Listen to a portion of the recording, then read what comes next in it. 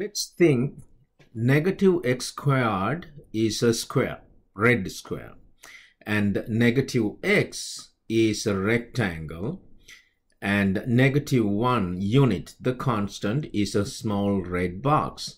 Now similarly, in my left, I have yellow colors for the positive values of each x squared, x, and unit 1.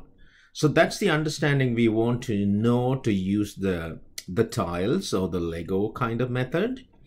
And uh, this will make you understand what's your algebraic writing and what comes out of your uh, calculator, uh, the values for x, right?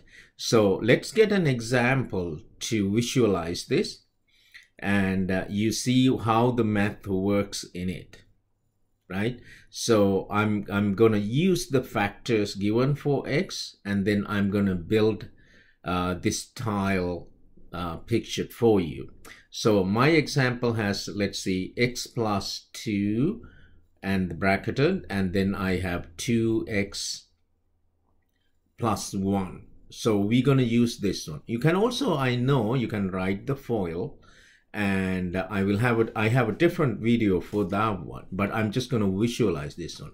Take this one, this X, and here's the, the, the horizontal line, the second set of brackets, and the first set of brackets vertically, I'm going to put it. Okay. Now, 2x is actually two rectangles, correct?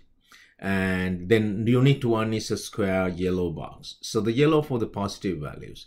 Now I have x is a rectangle and 2 is two yellow boxes, little boxes. Now squares actually, right? Now you see um, rectangle times rectangle, then that x times x will get the x squared. And then again, x, uh, x times x will get the x squared.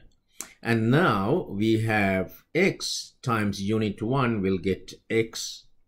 And then here you have 1 times x is x. And again 1 times x is x. And 1 times 1 is x. Again, uh, 1 times x is x, 1 times x is x, and 1 times 1 is 1. So you see now we completed that one, right? Two sets of uh, bracketed factors, we multiply that one, right? And that's how picture looks like. Okay, so now we can move on to, you see the two, um, now I have 2x squared, so we can write that. And then I have how many x's? I have one, two, three, four, five x's, and there's two units. Now we can use the FOIL method to test. So 2 first will get me 2x squared, two first terms, and then the two outside terms will give me x, and then the two inside terms should give me 2 times 2x, which is 4x, right? And uh, so, yes, 2 times 2x is 4x. It should be 4x. Yes.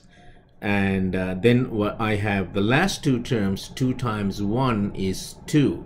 So now the two middle terms you can put together, x plus 4x will give me this 5x.